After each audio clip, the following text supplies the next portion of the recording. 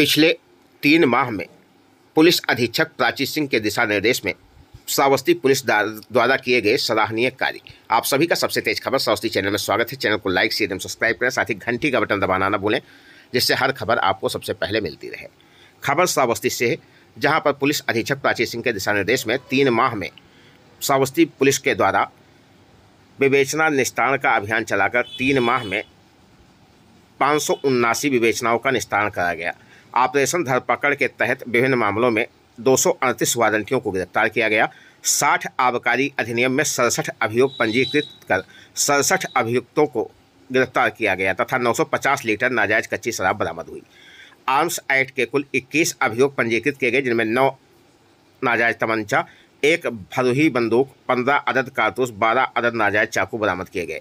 तीन स्थानों पर पुलिस मुठभेड़ हुई। सीसिया में दो, मल्लीपुर में एक इस मुठभेड़ में छः साथी अभियुक्तों को गिरफ़्तार किया गया।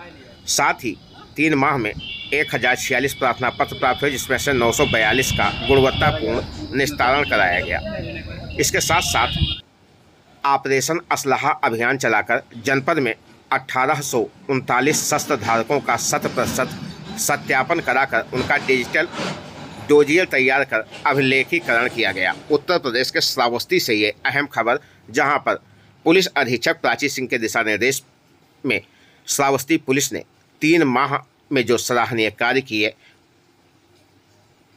उसकी ये डिटेल।